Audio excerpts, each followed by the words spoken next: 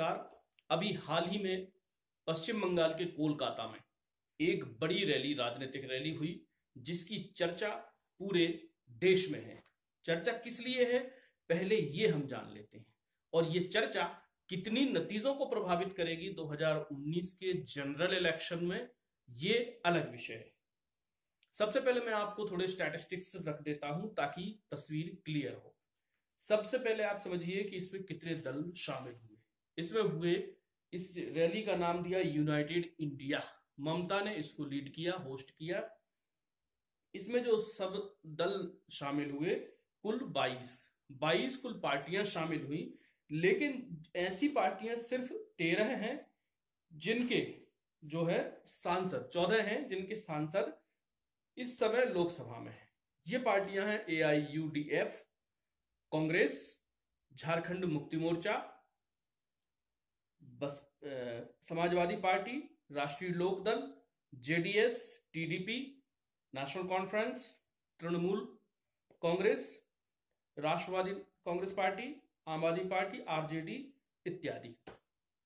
कुल मिलाकर अगर हम इस पूरे उसको देखते हैं तो 22 इसमें कुल पार्टियाँ शामिल हुई और तेरह पार्टियाँ ऐसी हैं इसमें जो बड़ी पार्टियाँ हैं, जिनके राज्यों से, जो राज्य की बड़ी पार्टियाँ हैं और जिनके राज्यों से लोकसभा में कुल तिरसठ फ़ीसदी जो है सीटें आती हैं। तिरसठ फ़ीसदी का मतलब होता है तीन सीटें इन एरिया से आती हैं। ये राज्य हैं उत्तर प्रदेश, महाराष्ट्र, पश्चिम बंगाल आंध्र प्रदेश, बिहार, कर्नाटका, तमिलनाडु इत्यादि। ये पाँच, छह, सात राज्य हैं जहाँ से तीन सीटें आती हैं। जहाँ तिरसठ फ़ीसदी जो सीटें होती हैं, कुल लोकसभा की 545 में से जो है 102 सीटें रेस्ट ऑफ़ इंडिया से आती हैं। 202 सीटें। अब हम ये देखें कि ये जो जितनी पार्टियाँ जुटी, इनका जो वोट परसेंट था 2014 में, वो करीब करीब 56 परसेंट था। यानी पचपन दशमलव नौ नौ फ़ीसदी वोट इन लोगों ने 2014 में अपने अपने स्तर पर हासिल किया था। इस लिहाज से अगर देखें तो ये बड़ी स्ट्रांग रैली थी और एक स्ट्रांग मैसेज देश के अंदर था। इसकी एक वजह ये और है कि इस पूरी रैली में जो नेता शामिल हुए थे, करीब दो दर्जन से अधिक नेता इसमें शामिल हुए, जिनमें चार मुख्यमंत्री और आठ पूर्व मुख्यमंत्री भी शामिल हैं। चार जो मुख्यमंत्री शामिल हुए, स्वभावता, स्वाभाविक रूप से आप समझ सकते हैं, एक तो खुद पश्चिम बंगाल की मुख्यमंत्री ममता बनर्जी, एक दिल्ली के मुख्यमंत्री अरविंद केजरीवाल, एक आंध्र प्रदेश के मुख्यमंत्री जो है चंद्रबाबू नायडू कर्नाटक के मुख्यमंत्री एच डी कुमार स्वामी इसमें शामिल इस तरह से चार मुख्यमंत्री शामिल हुए। पूर्व मुख्यमंत्रियों में तो आप जान ही रहे हैं कि कितने मुख्यमंत्री पूर्व मुख्यमंत्रियों में अखिलेश यादव शामिल हुए हैं, फारूक अब्दुल्ला शामिल हुए हैं, शरद पवार शामिल हुए हैं और भी कई नेता इसमें शामिल हुए हैं। इस तरह से देख सकते हैं कि पार्टी का एक बड़ा मैसेज देने की कोशिश की गई थी। कुछ अब इसमें जो लोग शामिल हुए हैं, जैसे मुख्य रूप से जो शामिल होने वाले जो नेता हैं, उनके नाम मैं आपको बता दूँ। जो है बदरुद्दीन अजमल असम से जो आते हैं, कांग्रेस की तरफ़ से राहुल गांधी नहीं शामिल हुए और बहुजन समाज पार्टी की तरफ़ से मायावती शामिल नहीं हुई है। उनके स्थान पर उनके प्रतिनिधि के रूप में क्रमशः राहुल गांधी के प्रतिनिधि के रूप में अभिषेक मनु सिंह भी और मल्लिकार्जुन खड़गे शामिल हुए, जबकि मायावती की तरफ़ से जो है सतीश चंद्र मिश्रा उनके शामिल हुए। झारखंड मुक्ति मोर्चा से Hemant Soren M K Stalin DMK से सतीश मिश्रा बीएसपी से अखिलेश यादव, समाजवादी पार्टी जयंत चौधरी, आर. रालोद से कुमार स्वामी जेडीएस से चंद्रबाबू नायडू टीडीपी से फारूक अब्दुल्ला नेशनल कॉन्फ्रेंस से ममता बनर्जी टीएमसी से शरद पवार एनसीपी से अरविंद केजरीवाल, आम आदमी पार्टी से जयप्रकाश यादव, राष्ट्रीय जनता जनता दल से। इस तरह से देखें तो इनके अलावा जो लोग शामिल हुए, उनमें उमर हैं, उमर अब्दुल्ला हैं, मेवाणी हैं एक जो अरुणाचल अरुणाचल कांग्रेस नाम से एक पार्टी बनाई है, गेगांग अपांग है। अरुण शौरी इसमें रहे, अजीत सिंह इसमें रहे, शरद यादव इसमें रहे, हार्दिक पटेल, देवगौड़ा और दो महत्वपूर्ण लोग इसमें रहे, इनका नाम है यशवंत सिन्हा और शत्रुघ्न सिन्हा। भारतीय जनता पार्टी के पूर्व विदेश मंत्री यशवंत सिन्हा, भारतीय जनता पार्टी के जो पूर्व जहाज़ रानी मंत्री और वर्तमान सांसद शत्रुघ्न सिन्हा, जो है यहाँ से इसमें शामिल हुए। अब ये जो है इनमें से मैं आपको बताऊँ, कुछ लोग तो ऐसे हैं जो ऐसी रैली हो या वैसी रैली हो। इन्हें कुल मिलाकर के जहाँ कहीं भी बीजेपी की खिलाफत, इवन बीजेपी भी अब गौड़ मोदी की खिलाफत जहाँ भी दिखाई देती है, वो वहाँ पर प्रकट होते हैं। जिनका जनाधार कितना है, अभी तक कोई भी किसी भी इलेक्शन में हम बहुत कैलकुलेटिव नहीं कह सकते।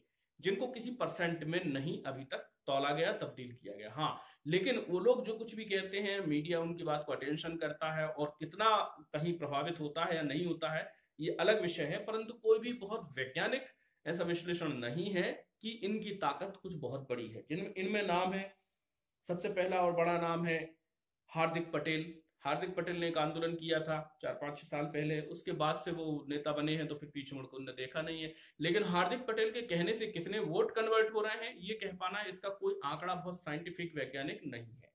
पर हाँ इसकी, इनकी बात में कि वो रहता है मीडिया अटेंशन करता है और एक बाईस, चौबीस, पच्चीस, छब्बीस साल के लड़के के साथ पूरा जो है माहौल बनाने की कोशिश होती है। ऐसे ही एक है जो इसमें पहुँचे, अरुण शौरी। अरुण शौरी का भी कोई ऐसा वजूद नहीं है।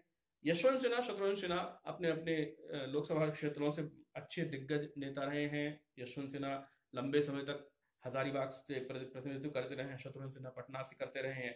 तो ये फ़िल्म में एक बड़ा नाम है, शत्रुघ्न सिन्हा।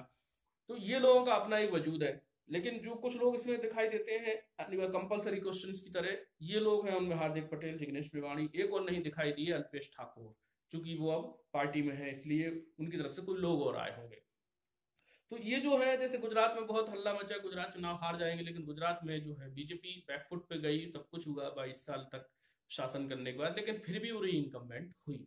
तो इस तरह से हम नहीं कह सकते हार्दिक पटेल बहुत बड़ा फैक्टर है, पर एक, किसी भी तरह से जो है रोर बटोर करना है इसको तो इस वजह से इन्होंने सबको यहाँ पर लेकर रखा। उमर को और फारूक अब्दुल्ला को बहुत प्रभावशाली अगर कहेंगे तो ये भी भूल हो सकती है क्योंकि ये भी बेदखल है सरकार से जम्मू कश्मीर में जैसे वोटिंग परसेंट बढ़ता है लोग पार्टी हार जाती है। सिर्फ़ पाँच छह परसेंट वोटिंग के बाद जो है खुद फारूक अब्दुल्ला आए हुए हैं। अब इनका देखें आप कि फारूक अब्दुल्ला का पूरे देश की संसद में नेशनल कॉन्फ्रेंस की एक सीट है। एक सीट में उनका जो वोटिंग परसेंट है पूरे देश भर में वो सिर्फ़ है पॉइंट ज़ीरो सेवन परसेंट यानी पॉइंट एक परसेंट भी नहीं हो पॉइंट एक परसेंट भी पूरा नहीं हो पाया है। उससे भी कम पॉइंट ज़ीरो सेवन परसेंट इनका वोट है। अगर हम इनको बहुत बड़ी शक्ति माने तो कोई बहुत बड़ा वो नहीं है। एक जयंत चौधरी है, राष्ट्रीय लोकतंत्र लोकदल के एक लौती सीट है, वो भी अभी आई है। तो इस हिसाब से देख, लौती सीट जो अभी उपचुनाव उन्होंने कैराना जीती है, उसको हम ले लें। इसके, वो भी सबने मिलकर लड़ी तब। इनका जो वोट परसेंट है, उनका भी vote percent point five two percent, यानी आधा परसेंट इनका वोट है। तो इनका वोट भी बहुत ज़्यादा प्रभावशाली उसमें नहीं दिखता। ऐसी बहुत छोटी छोटी छोटी छोटी पार्टियाँ इसमें शामिल हैं। कुछ नई पार्टियाँ बनी हैं जिनने 2014 में चुनाव नहीं लड़ा। उनमें शरद यादव की पार्टी है या अरुणाचल कांग्रेस की, कांग्रेस है। इस तरह की कुछ नई नई पार्टियाँ इसमें इंट्रोड्यूस हुई हैं, जो अभी इनका कोई बैकग्राउंड नहीं है। इस हिसाब से देखें अगर तो इसमें लार्जेस्ट वोटिंग परसेंट वाली पार्टी सिर्फ़ कांग्रेस रही, लेकिन उससे भी राहुल गांधी शामिल नहीं हुए। इस, इसलिए जो है अभिषेक मनु सिंघवी और खड़गे उनकी तरफ़ से शामिल हुए। इनका उन्नीस दशमलव पाँच दो परसेंट वोट जो है लोकसभा के अंदर इनको मिला पिछले 2014 के चुनाव में।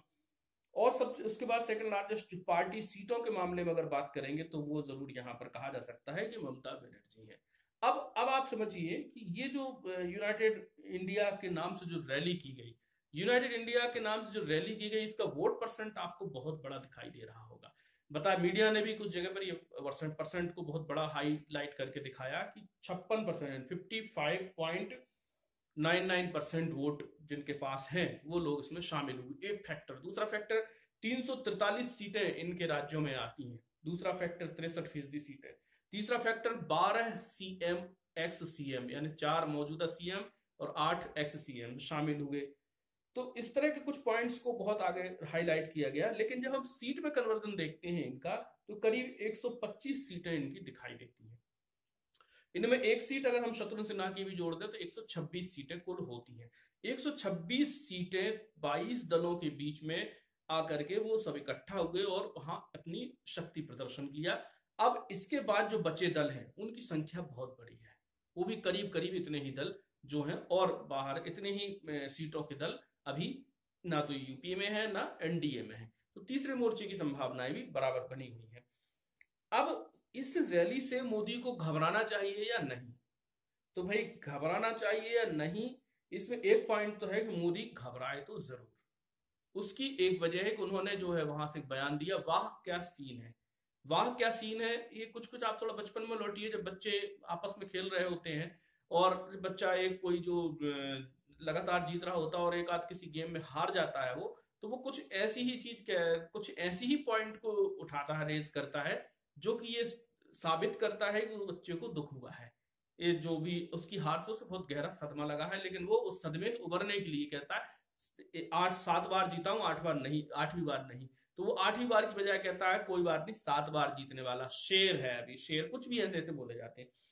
तो ये जो वाह, क्या सीन है, ये सीन दरअसल ये जो शब्द है, ये भय से निकला हुआ शब्द और स्वाभाविक रूप से भय होना भी चाहिए।